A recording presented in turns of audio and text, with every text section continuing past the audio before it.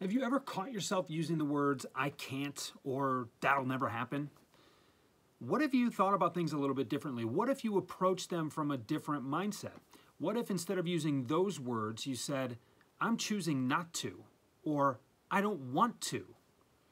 That reframes the entire conversation. There's so many times that we want to just say, oh, that could never happen. That's impossible, because we don't want to hold ourselves accountable to the work that goes along with actually doing those things.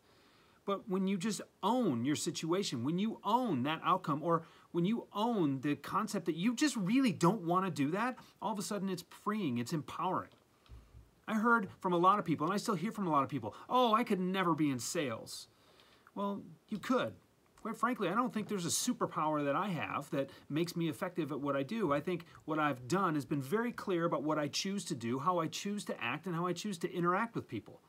And when I make better choices, when I make consistent choices through a repeatable process, really good things happen for my business.